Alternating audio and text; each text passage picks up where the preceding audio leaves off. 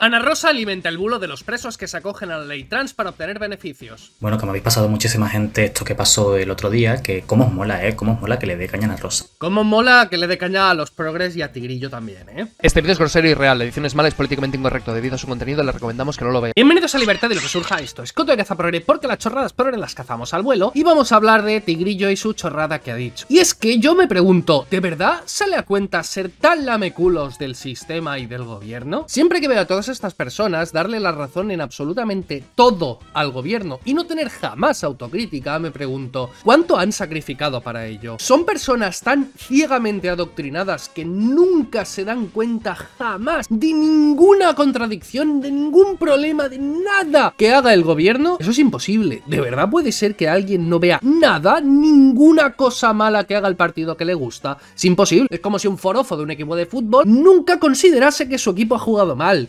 Conozco a ninguno. Imaginaos un forofo, un hincha del Madrid o del Barça o del Betis o de quien sea, al que le gusten siempre todos los jugadores que ficha el equipo, todos los suplentes, todos los entrenadores, todo el equipo directivo, siempre considere que el equipo juega bien, siempre considera que... Y mira qué fanatismo con el fútbol. Pues con los partidos políticos y con la política sí que ocurre. ¿Cómo debe estar la política para ser todavía más sectaria que el fútbol o que los deportes estos? Aunque claro, tiene su explicación evidentemente.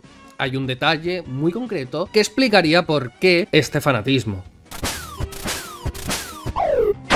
con esto que dijo en el programa. Y comienza a sentirse el goteo de las consecuencias de la ley trans. En la cárcel de Asturias ya son seis los presos a los que, que se quieren acoger a la ley trans para ser trasladados a una cárcel de mujeres. Bueno, que no sé quién es la list trans esa, pero vaya, vaya liada que está haciendo según Ana Rosa, la list trans. Esta semana tengo muchísimo trabajo, así que no me ha dado tiempo a hacer un vídeo en condiciones así en plan currado comentándolo, pero vaya, que esta señora evidentemente ha decidido ignorar completamente la retroactividad, la no retroactividad de la ley, que significa que si tú cometes un delito como hombre, se te juzga como hombre, y el hecho de que en su monólogo este inicial, su editorial, pues parece dar a entender que, van a, cambiar de prisión a estos hombres que han solicitado el cambio de género ahora. Eh, ¿Por qué? Porque lo dice ella, porque no no, hay ningún indicio de que lo vayan a cambiar a una prisión femenina. Los malabares que se tienen que hacer para justificar siempre a tu equipo de fútbol político, es decir, tu partido político favorito, por parte de la izquierda, son inmensos, son increíbles, nunca se equivocan y como se equivocan tanto, como la cagan tanto, se tienen que justificar de tantas maneras que se desbordan. Vamos a ver, aquí dice dos chorradas muy gordas. Primero de todo, ¿qué tiene que ver la retroactividad de la ley con que un preso ya condenado se cambie de una cárcel a otra? Hace poco se anunció que todos los presos de ETA ya se habían trasladado al País Vasco, ya se habían acercado todos los presos. ¿Eso tiene algo que ver con alguna retroactividad de alguna ley? No, simplemente los políticos pues quieren hacer eso y lo hacen y ya está, y se trasladan y punto. Y todos los progres aplaudiendo lo bien que cuidan nuestros políticos a terroristas. Bueno, espero que no todos, espero que alguno tenga un poco de cabeza, pero tampoco lo he visto mucho yo eso. Lo que dice la noticia es que estos presos ya condenados y con la misma condena y sin intención de que se les cambie la condena de ninguna manera, de ahí de lo de la irretroactividad, que no hay cambio alguno, piden trasladarse de un módulo a otro, piden cambiarse de un sitio a otro. Ya está. Eso es algo que pueden pedir sin ningún tipo de problema. Si una persona se declara como trans, se le tiene que cambiar al módulo correspondiente. Ya está, no tiene nada que ver con nada que tú hayas dicho. Y luego dice, es que lo dice como si fueran a hacerlo. No, ha anunciado que lo han pedido. ¿En qué momento dice que se le ha concedido, que se le va a conceder o insinúa algo así? No, simplemente dice, mira, han pedido esto, ya está. Aquí vemos a Tigrillo en un movimiento ridículo para intentar justificar al gobierno diciendo algo que no tiene nada que ver con lo que hemos visto. Para lamer el culo más al gobierno y blanquearlo más si se puede, pues intenta fingir la irretroactividad de la ley trans en cuanto a, en cuanto a que si te han denunciado antes de que tú cambies de género y tal, pues eh, se te juzga como lo que tú tenías en el momento, pues eso le salvaría de todo a esta noticia que nos estamos viendo, cuando no se está juzgando nada a nadie de ninguna manera. Y además, para acabar justificar su punto que no ha justificado en ningún momento, pues suelta la pullita de encima estás diciendo que... Y no lo dice, ¿vale? No lo dice de ninguna manera, pero le hace quedar como que lo ha dicho y que los progres como son tan crédulos, cuando literalmente ha puesto fragmento. O sea, ha hecho dos mentiras de un fragmento que literalmente él ha puesto. Tú imagínate cómo tiene que pensar que son sus seguidores y los progres en general para hacer algo tan flagrante, una mentira tan gorda de un fragmento que literalmente ha puesto antes. Si no pensase que sus seguidores son tan imbéciles, no lo habría puesto. No habría puesto el fragmento y simplemente hubiese puesto el titular y pues en encima dijo esto y hubiese mentido un poquito, ¿no? Para que colase. Pero no sé, se siente tan impune que no necesita hacer más malabares porque le aplauden con esto. Bueno, yo presupuesto que hace esto porque piensa que sus seguidores son imbéciles, pero también hay otra posibilidad, que la culpa sea suya, que él no se ha dado cuenta. Eso no ha pasado. Si debería ser consecuente es que leyes como esta existen en un montón de países en las que no ha habido problema con gente intentando cometer fraude de ley y en España precisamente está pasando porque la oposición mediática desde sus medios de comunicación con millones y millones de telespectadores llevan años diciendo, animando a la gente a cometer estos fraudes de ley diciendo sí, sí, os van a dar muchísimas ventajas, vais a poder cambiar de género para tener increíbles ventajas todo el rato. Entonces la gente, pues si lo escucha todo el rato en televisión, lo va a acabar haciendo. Así que la responsabilidad no es de la ley, la responsabilidad es vuestra. Aquí otro intento de jugada para blanquear de algún modo pues los desastres que hacen los, sus políticos. Porque a él, por lo visto, le gustan mucho esos políticos y tiene que justificarlos en absolutamente todo. Aunque si alguien hace una ley que es un coladero, que es un desastre, que no sirve para absolutamente nada y que lo que hace es beneficiar a personas que se quieren aprovechar de ella, el problema es de quien ha hecho la ley. Si se bajan las condenas de los presos porque la ley del solo sí es sí baja las penas, pues el problema no es de los abogados que su trabajo es velar por los intereses de su cliente. El problema es de la ley que ha bajado las penas. Si sacas una ley que simplemente diciendo yo soy mujer, yo soy hombre, pues ya te cambian y punto, pues si hay personas que se aprovechan de eso y tú no has puesto ningún mecanismo para averiguar si realmente alguien dice la verdad o dice una mentira, pues es culpa tuya. O es responsabilidad tuya, no digamos culpa, porque igual no es necesariamente algo malo, pero sí que es tu responsabilidad. Y si la tele dice, oye, esto pues te puedes aprovechar aquí y no te va a pasar nada, pues está avisando de algo que puedes hacer. Ya está, pero la culpa es tuya. Si yo monto un casino y tiene un error, una máquina de las que he puesto, y entonces la gente pues ve el código, ve el funcionamiento y se puede forrar con ello y de golpe en la tele dicen, oye, en este casino te puedes forrar en esta máquina porque funciona y la gente viene a mi casino y se forra con esa máquina y me arruino, culpa es mía, no del que ha visto el fallo, no de la tele que ha avisado, la culpa es única y exclusivamente mía. Si el gobierno promete 400 euros a cada chaval de 18 años simplemente porque sí, y becas universitarias y un montón de paguitas y luego, y luego más paguitas a familias numerosas y demás, y la gente informa de esas paguitas y la tele habla de esas paguitas y menciona cómo conseguirlas y masivamente todo el mundo, lo necesite o no, se pilla esas paguitas y de golpe pues eh, se acaba el dinero y quiebra y hay déficit y problemas, culpa no es de la tele que ha avisado, la culpa no es de la gente que ha pillado esas paguitas, la culpa es del gobierno que ha puesto esas paguitas de forma irresponsable y sin tener en cuenta cuánto dinero hay, cuánto dinero falta, qué déficit hay, cuánta gente puede llegar a solicitarlas, la culpa es del gobierno que ha puesto el caramelo ahí. Cuando haces una ley tienes que analizar pros y contras y tienes que fijarte mucho en la ley de las consecuencias no deseadas. Tú puedes poner una ley que diga, hay mucha inflación, vamos a poner un precio máximo a la comida que se vende en los supermercados. Y entonces te preguntan, oye, ¿cuál va a ser la consecuencia de esa ley? Bueno, pues que antes se subían los precios y ahora ya no. ¿Y no va a pasar nada más? No, no, solo va a pasar que no van a subir los precios. ¿Por qué? Porque es una ley que lo que pone escrito en la ley es ya no van a subir más los precios, vamos a limitar por ley los precios. Es lo que dice la ley. Pero, ¿esa ley solamente va a afectar a la sociedad de esa manera? No, si tú limitas los precios, aumentan los costes para producir esos productos que se venden a esos precios limitados y los costes superan el precio, deja de ser rentable producirlo. Por lo tanto, nadie pasa a producirlo. Por lo tanto, todo el mundo que vendía esos productos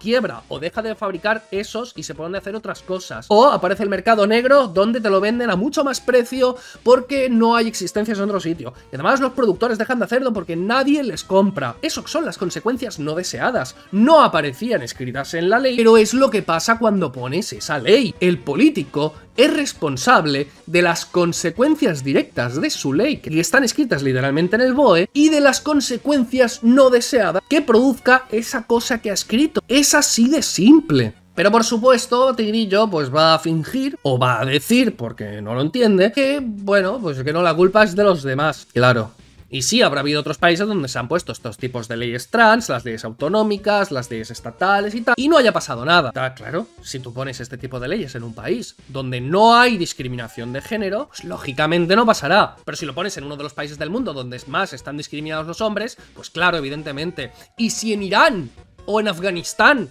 pones esta ley trans, esta misma, ¿qué va a pasar ahí? ¿Te piensas tú que todas las mujeres que están ahí con muchísimos problemas no van a usar la ley trans y se van a autodeclarar hombres? ¿La culpa es de ella? ¿Es culpa suya? ¿O, es culpa de las leyes discriminatorias? Y para terminar, que si alguien intenta cometer fraude de ley, la culpa es de esa persona y no de la ley, o de las personas que tienen que de verdad beneficiarse de esa ley porque la necesitan. Y por último, pero no por ello menos importante, eh, con ocho letras, personas que tienen que de verdad beneficiarse de esa ley porque la necesitan. Fraude de ley, ¿por qué? ¿Cómo sabes que esas seis personas no son verdaderamente trans? ¿No hay trans en la cárcel? ¿No hay acaso personas que se autodenominan trans o se declaran trans en la cárcel y que ahora han visto la ley y dicen, oye, pues mira, fíjate que... O que ven en la televisión, pues hablar tantísimo de este tipo de leyes y dicen, oye, pues mira, no me había cambiado hasta entonces, pero soy trans y quiero cambiarme. ¿Cómo sabes que esa persona está haciendo un fraude de ley? Si ni has investigado, ni has hecho... No sabes ni quiénes son, no sabes nada de esas personas.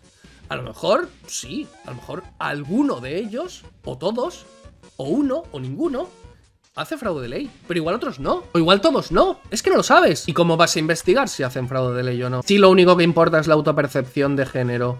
¿Cómo lo sabes? ¿De qué manera vas a intentar averiguarlo? ¿Qué dice la ley esta? Que, que tiene que pasar para que sea fraude o no. Claro, que se beneficien. Este cambio registral les beneficia en otros tipos de cosas. Pero claro, si tú eres un preso que es mujer, trans, es decir, presa, y aparece esta ley, tú hagas lo que hagas, te vas a beneficiar de esta ley. Independientemente de si intentas hacerlo por el bien o por el mal, si intentas aprovecharte o no aprovecharte, en el momento en que tú cambias registralmente, te trasladan a la cárcel de mujeres y eso pues se puede entender como beneficiarte. Entonces, supongamos que hay un trans, una persona verdaderamente trans en una cárcel. Yo que sé, la veneno estuvo en la cárcel. Imagínate la veneno en la cárcel y que de golpe aparezca pues una ley trans o una manera de poderse cambiar registralmente en su época, ¿no? Entonces hubiese dicho, sí, pues mira, me quiero cambiar. Lo que sé, imaginemos que esa persona se quiere cambiar. Es, fraude de ley porque te beneficia hasta. No, pero es que es trans, es que, es que lo es. No, pero es que te beneficia. Hostia, entonces, si una persona se beneficia por el cambio registral, automáticamente siempre va a ser fraude de ley Imagínate un hombre que de golpe pues dice, no, resulta que soy una mujer trans